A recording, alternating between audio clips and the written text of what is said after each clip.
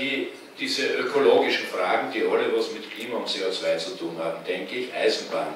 Naja, wir sind raufgefahren, umgestiegen in St. Pölten, da rauf, da sind wir gefahren mit einem sogenannten Schienenbus, ja, der hat ungefähr ein, ein, ein Antriebs- und Fahrverhalten wie ein besserer Traktor. So sind wir da unterwegs. Ja, wie in Sizilien 1983 bin ich auch so gefahren. Ja dass das nicht möglich ist, dass das nicht, Krems, ja, ich meine, da kommt man anders auch her verdienen, aber dass man das nicht elektrifiziert, da kann ich die Strecken der Mir in Ostsee mal vorne ganz andere Geschichten erzählen. Und dann bin ich wieder umzingelt von allen, die die Eisenbahn ausbauen wollen und sonst was. Und wenn man sich die Budgets im Übrigen von Rot-Schwarz genauso schlimm wie für ein Türkis-Blau anschaut, dann sieht man, dass in den Autobahnbau wesentlich mehr Milliarden gehen als in den Eisenbahnausbau. Und das ist eben das Unglaubwürdige. Ich selber probiert auch mit dem Zug fahren. Ja. Das ist eine schwierige Sache, vor allem in, weitere Distanzen. Was wir brauchen, was der, Schied, was der sagt, ist richtig. Äh, Streckennetz Ertüchtigung zwischen den Metropolen. Wir können sicher Kurz- und Mittelstreckenflüge ein, eindämmen in Zukunft, aber da muss anständig Geld in die Hand genommen werden dort.